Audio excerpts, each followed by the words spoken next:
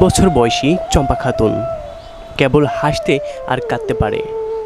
তার স্থান এখনও মায়ের কোলে। দু এক পা ফেলে হাঁটতে পারে। বয়স বাড়লেও বাড়েনি অঙ্গ প্রত্যঙ্গ নেই শরীরের কোনো পরিবর্তন। যে বয়সে পড়ালেখা বা বিয়ের রঙিন স্বপ্ন থাকার কথা, সেই বয়সেও চম্পা মানুষের কোলে চেপে বসে থাকে। বহুমাত্রিক প্রতিবন্ধী হিসেবে সমাজসেবা থেকে তার নাম নিবন্ধিত হলেও এখনও ভাগ্যে জোটেনি প্রতিবন্ধী ভাতার কার্ড। ঝিনাইদহ সদর উপজেলার সাধুহাটি ইউনিয়নের বঙ্কিরা গ্রামের হাসিম মোল্লার মেয়ে চম্পা খাতুন।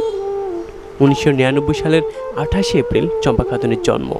জন্মের পর থেকে সে বহুমাত্রিক প্রতিবন্ধী।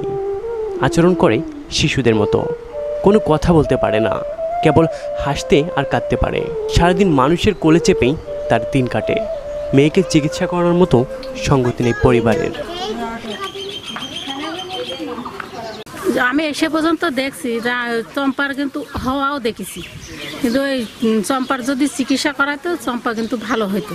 কিন্তু এর আর্থিক অবস্থার জন্য এরা চম্পার এলাকায় কোনো চিকিৎসা করাতে পারেনি। এই যে আমাদের চম্পা মানে ও আর আমি একই সাথে একই বয়সের এই যে আমি ইন্টার সেকেন্ড ইয়ার পড়ছি আর ও এই শিশু থাকার কারণে মানে কেউ বাড়েইনি আর ওদের এই যে আর্থিক অবস্থা অনেক খারাপ সেই জন্য চিকিৎসাও সেমনভাবে হয়নি। তার জন্য এখনও অনেক ছোট হয়ে আছে আর ওর শরীরটা এখন সেরকম খারাপই। এখনও বাড়িতেই থাকে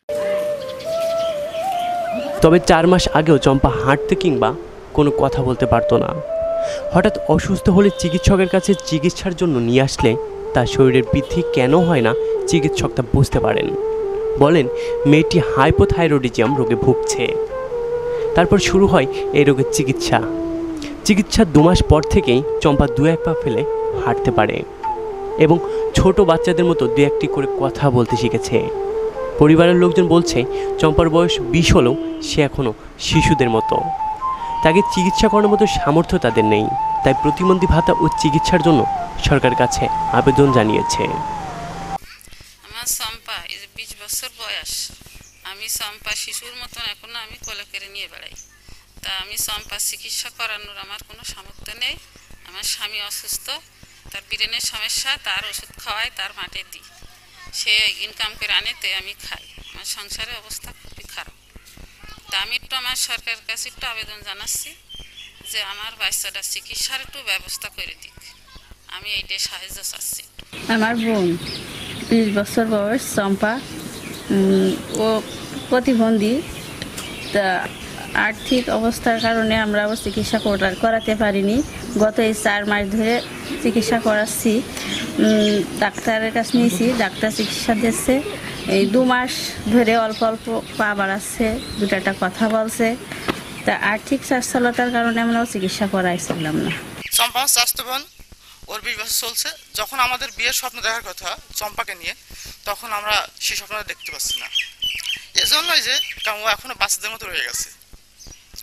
তো সরকারের কাছে একটাই দাবি যে ওর যে প্রতিবন্ধী কার্ড, ওর যে হক, ওটা যেন দ্রুত বাস্তবায়ন করা হয়।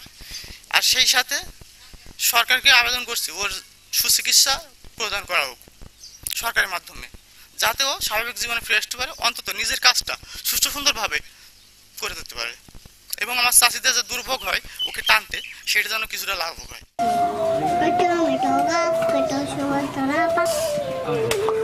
চম্পাকে চিকিৎসার পর এখন কোনো রকমে হাঁটতে পারে। তাকে চিকিৎসা করানোর সামর্থ্য নেই পরিবারের।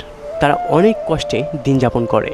তবে সঠিকভাবে চিকিৎসা করালে হয়তো চম্পা ভালো হয়ে স্বাভাবিক জীবনযাপন করতে পারবে। স্থানীয় জনপ্রতিনিধি চম্পার প্রতিবন্ধী ভাতার ব্যবস্থা করবেন বলে আশ্বাস দিয়েছেন। আর এই ভাতা অচিরেই পাবেন বলেও জানান। আমি মোটামুটি ভাতা করে দিচ্ছি, ভাতা প্রক্রিয়াধীন আছে। আশা করি যে এই মাসের শেষ সপ্তাহ অথবা আগামী মাসের প্রথম সপ্তাহে মোটামুটি সে ভাতা পেয়ে যাবে। ভাতার ব্যাপারে মোটামুটি তার যতটুকু অগ্রগতি করার দরকার আমার কাছে বলার পরে মোটামুটি সে অগ্রগতি করা হয়েছে। চিকিৎসক বলেন, চম্পা হাইপোথাইরয়েডিজম রোগে আক্রান্ত। এই রোগীকে চিকিৎসা করালে রোগটি ভালো হতে পারে, তবে বয়স ভেদে তা ভালো হয়। চম্পা শারীরিকভাবে সম্পূর্ণ সুস্থ না হতে পারে। হয়তো অভিভাবকদের অসচেতনতার কারণে চিকিৎসা পিছিয়ে আছে। শিশুকাল থেকে যদি এ রোগের চিকিৎসা দেওয়া হয়, তাহলে রোগ অবশ্যই ভালো হয়ে যায়। শিশুদের যদি শারীরিক বৃদ্ধি না ঘটে, তাহলে চিকিৎসকের পরামর্শ নিতে বলেন তিনি। মেয়েটা হাইপোথাইরয়েডিজম রোগে ভুগছে। এটা জন্ম থেকে থাইরয়েড হরমোনের অভাবজনিত কারণে এটা হয়ে থাকে। এটা খুব ছোটবেলা থেকে, এক মাস বয়সের ভিতর থেকে ভিতরে এর চিকিৎসা শুরু করা উচিত ছিল। তাহলে ও স্বাভাবিকভাবে বড় হতো এবং স্বাভাবিক বুদ্ধিদীপ্ত হতো। অনেক দেরিতে চিকিৎসা শুরু করা হচ্ছে, এখন সামান্য উন্নতি হবে। এটা তাদের পরিবারের মানুষের সচেতনতার অভাবে তারা এত দেরিতে ডাক্তারের কাছে আসছে।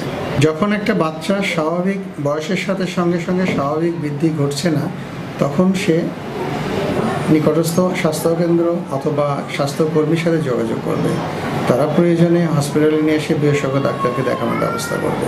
তাহলে এই ক্ষেত্রে সেরকম যদি ঘটনা ঘটতো, তাহলে অনেক আগেই রোগটা ধরা হতো এবং সে প্রকৃত চিকিৎসা যথাসময়ে শুরু করে সে স্বাভাবিক জীবনযাপন করতে পারতো।